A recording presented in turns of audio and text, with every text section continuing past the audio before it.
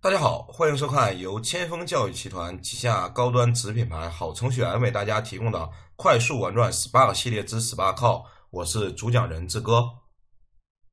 今天我们主要学习的知识点呢有如下四个，分别是 Spark Cell Local 模式、Spark Cell Cluster 模式、Spark Cell 2.2和 Spark Cell 1.6的对比和 IDEA 和 Maven 的下载。那么，如果大家对视频当中的大数据感兴趣的话，可以添加我们千锋大数据学习营的 QQ 群，群号是二四幺六幺七五六八，里边呢会有老师为大家讲解和海量视频提供大家给学习。那接下来呢，我们开始正式学习。OK，那么今天呢，我们开始正式学习。那么我们现在主要学习的呢，叫做 Spark Cell。那 Spark Cell 呢，是 Spark 自带的一种交互式 Cell 程序。方便用户进行交互式编程，用户可以在该命令下呢用 Scala 编写 Spark 程序。Spark Cell 呢程序一般作用于 Spark 的测试用例来使用的。那 Spark Cell 呢属于 Spark 的一种特殊应用程序，我们可以在这个特殊应用程序中呢提交任务给集群，让集群将当前任务跑出来给我们看到结果。那 Spark Cell 呢一般启动的时候呢有两种模式，一种是 Local 模式，一种是 Cluster 模式。那在这里呢，我们先说当前的 local 模式。那接下来开始启动我们的集群。首先，先打开我们的虚拟机，然后开启我们当前四台虚拟机，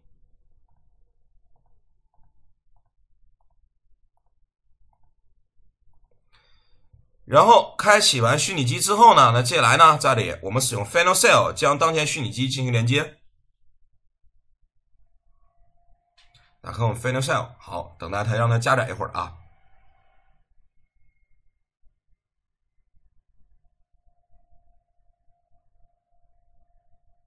OK，Final Cell 已启动。那这个时候呢，应该虚拟机已经启动差不多了。那接下来呢，我们连接这四台虚拟机。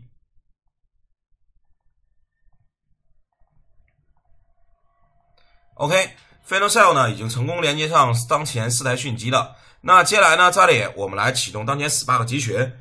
呃，启动 Spark 集群呢，需要大家进入到当前 Spark 下的呃 B 目录下 S B 目录下。所以这里我们需要跳转到 Spark S B 目录下，所以 cd 杠 opt software Spark S B 啊，进入到 S B 目录下。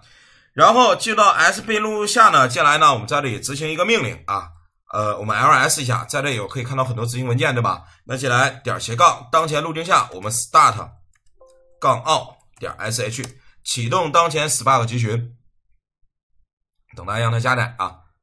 那有当前日志输出完成之后呢，在这里如何检测集群启动成功？我们通过 gsp 命令发现当前节点一已经启动当前 master。那节点二 gsp 我可以正常启动。节点三 gsp 我可以正常启动。节点四 gsp 我可以正常启动。那接下来回到节点一，那在这里我们来主动操作一下。那如果想大家想进入到 Spark Cell 界命令下呢，这个界面下呢，需要进入到 bin 目下。所以此时呢，这里我们 cd 点点回到上一目录，CD b 进入到 bin 目录下，ls 下。那在这里啊，大家可以看到很多当前的一种回车吧，同学们，咱这里可以看到很多的一些回车之类的，对吧？那么在这里有哪些执行命令呢？有 blan 呐，包括什么 find Spark Home 啊，对吧？然后什么 Spark Class 啊，在这里大家可以看到这儿是不是有一个 Spark Cell？如果我们想进入到 Spark Cell 下呢，就需要进入到当前这个命令里。所以接下来呢，这里我们来输入当前 Spark Cell 的一个执行命令。接下来这里我们输入命令啊，也就是 Spark Spark 当前目录下，这里点斜杠 Spark 杠 Cell。那此时我们所启动的模式就是 Spark Cell 的 Local 模式。这里我们启动当前那个 cell，让它进行一个启动，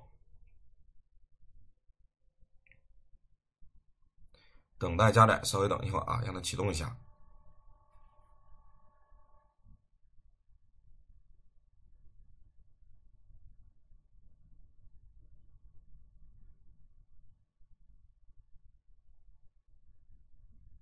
哦，启动的稍稍有点慢啊，稍稍稍等一下，让它慢慢跑起来。